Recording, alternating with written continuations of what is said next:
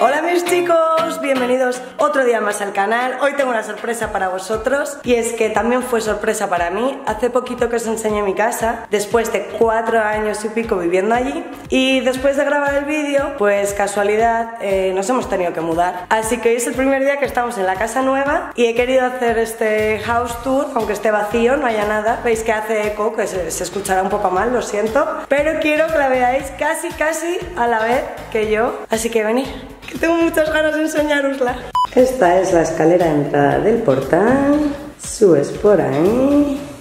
Y.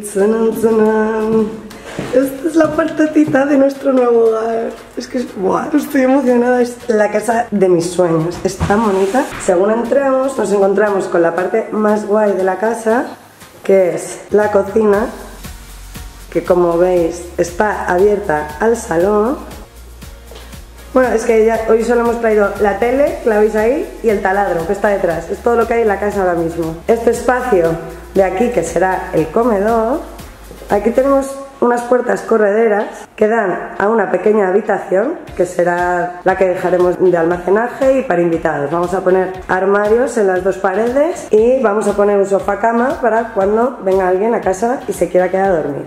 Y tiene salida por el otro lado también al salón y mirar arriba, mirar qué techo más alucinante.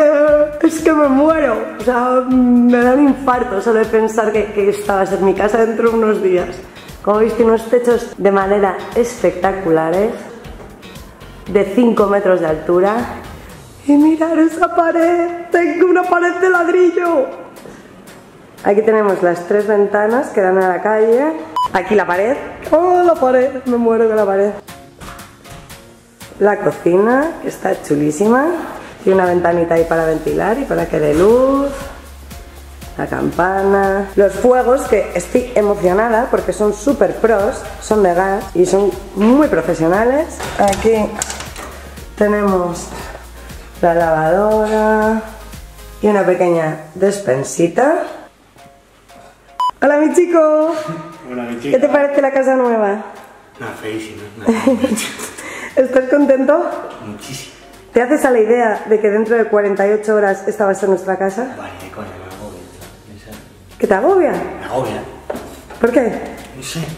Nada. Fuera. Está agobiado el chico. Y por aquí llegamos al pasillo que tiene un armario pequeñito.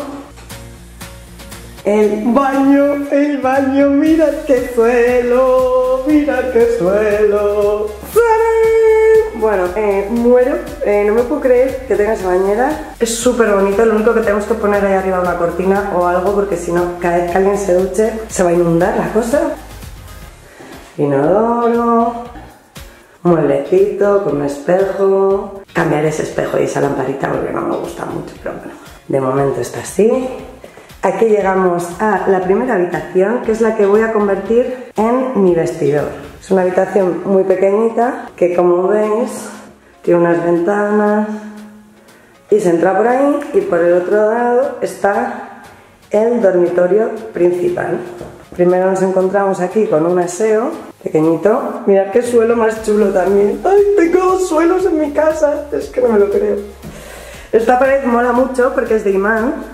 Y ahora seguimos por aquí y llegamos a la habitación principal, que a mí me parece de un hotel porque como veis tiene integrado dentro de la habitación la ducha, el lavabo, un espejo, tiene ahí esa parte del cabecero. La pared igual la dejo gris como está.